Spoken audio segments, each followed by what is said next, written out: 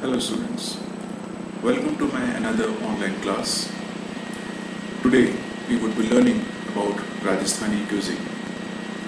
I am Chef Aditya Saxena from Chitkara School of Hospitality.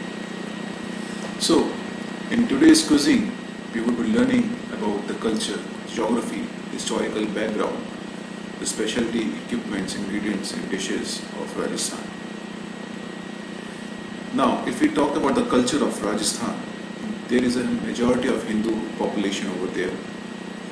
There are two basic community or two major communities that resides in Rajasthan. First is Marwadis. Now, those are the business class, and they are generally vegetarians, and they are more of Jains inside, so they don't eat ginger, garlic, and onions. And therefore, the second one is Rajputs those were the warrior caste, the warrior clans, and they used to eat a lot of non-veg. There are different festivals that they you know celebrate. That there is a uh, there is one Bikaner Camel Festival. Then they have got Jaisalmer Desert Festivals. Then they have got Holi, Diwali.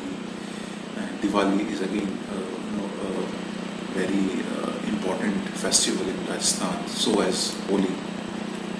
If we see the geography now, the Rajasthan is situated in the Thar desert and it shares its border with many states on top. On the northern side, it shares border with Punjab and again then it also shares borders with Haryana. In the eastern side, it shares its border with UP. South eastern side is MP and south is Gujarat. The western side is Pakistan.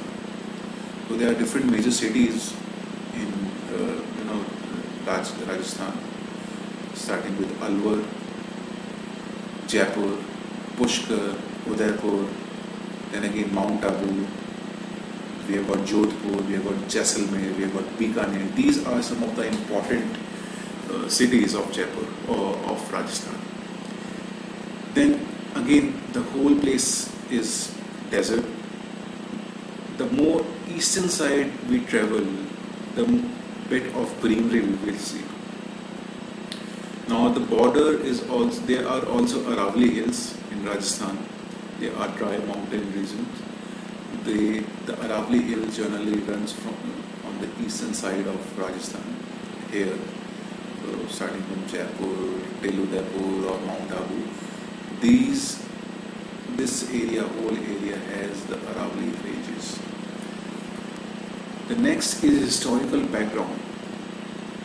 When we see the uh, historical background, Rajasthan or Raj करने वाली जगह Raj Raja उनकी का स्थान the Rajputs or the warrior clans or the rulers they ruled there for thousand years.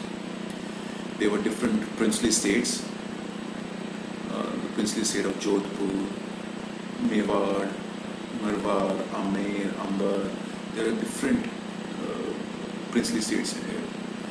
Now, Rajputs were warriors and kings known for their you know extravagant lifestyle, their bravery, and their fearlessness. So they used to go for hunts. They used to eat non-veg. They were the kings, and they were brave people.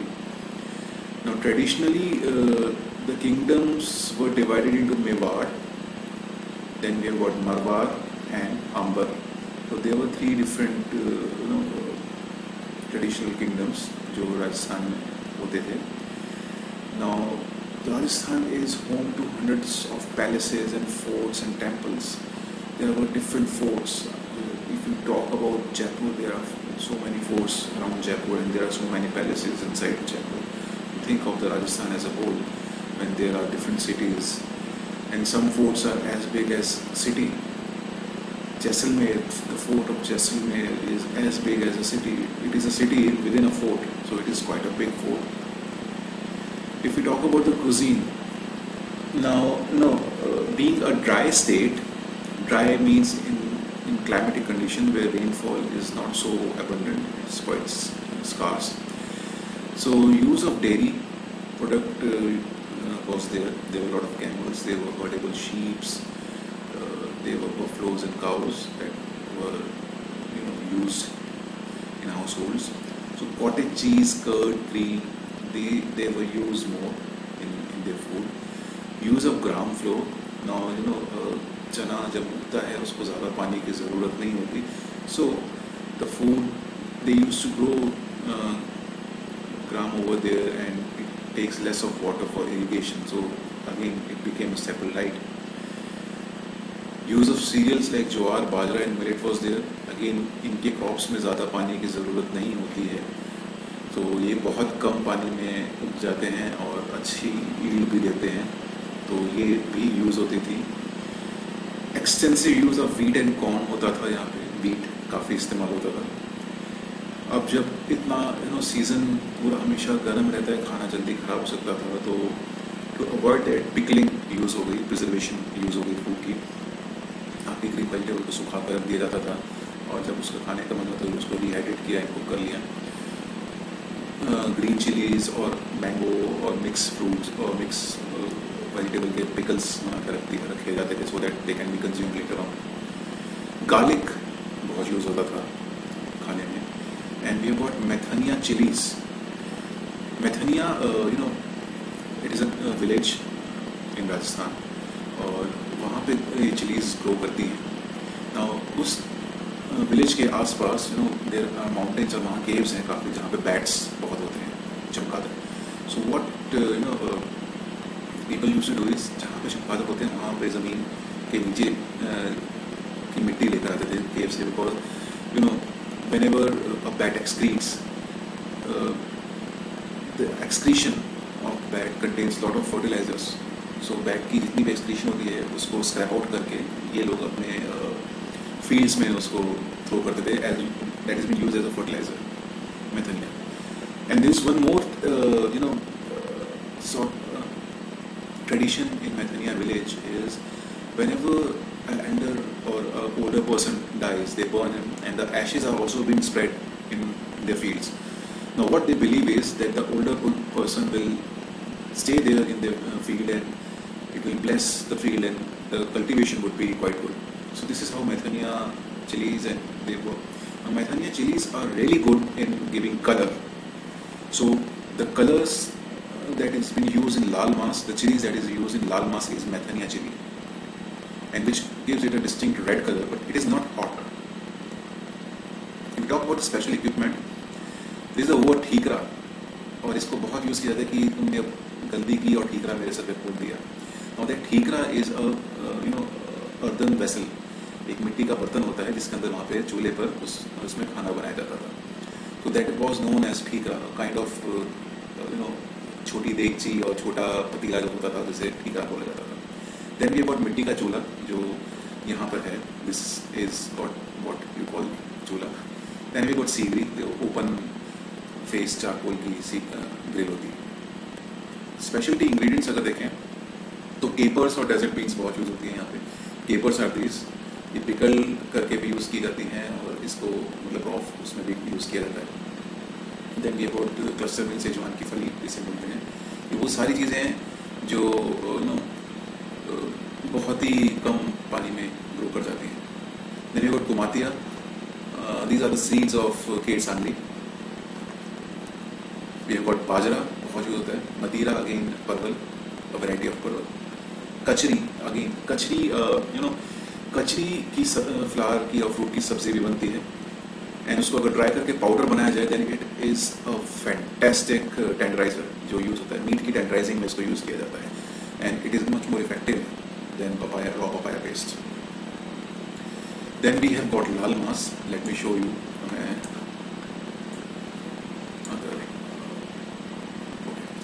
laal maas safed maas again laal maas जो था that is used by hunters uh, during hunting. ये है लाल मास. And this one is safed maas. Again safed maas is a sort of royalty food जो royal लोग खाते थे. वो था safed maas. So safed maas generally of your cashew nuts and चार मगज क्रीम और मटन को कुक किया जाता था अच्छे तरीके से उसके बाद यूज़ देन विद मास की कड़ी कड़ी बनती थी, बनती है राजस्थान में।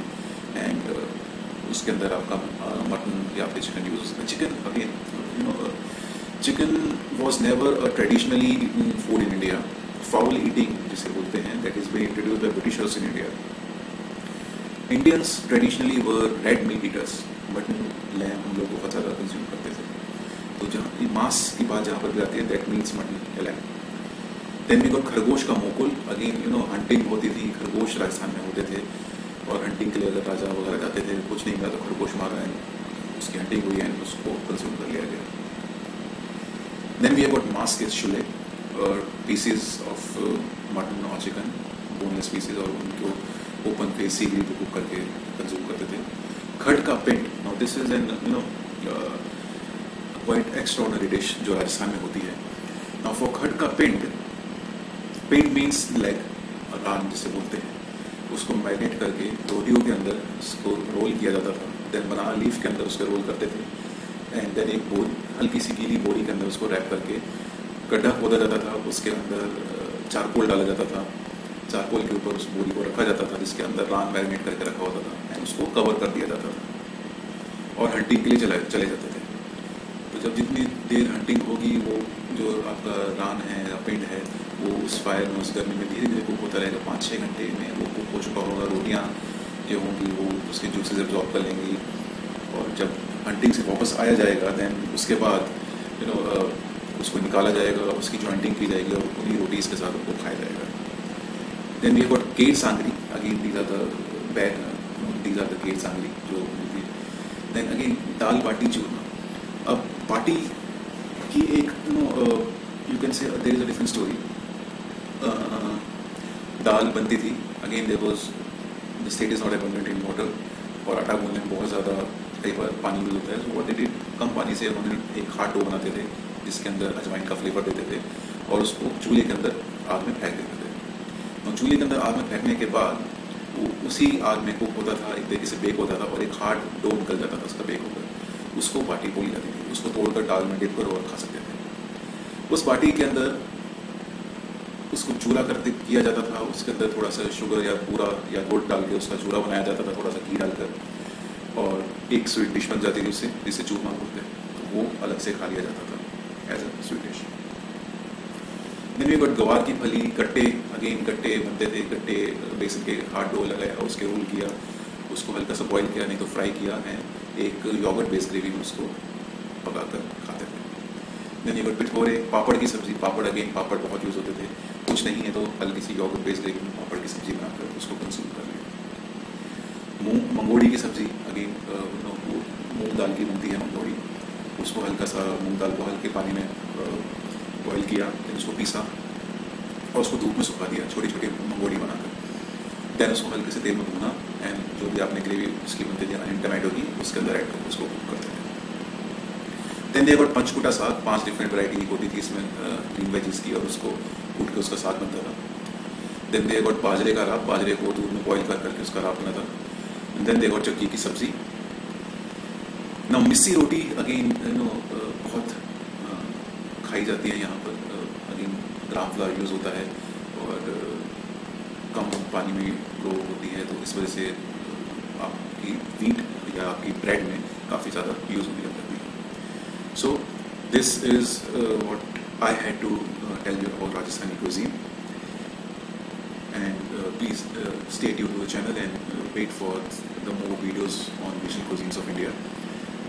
this is Aditya Saxena signing off for the day. Please stay at home and stay safe. Thank you.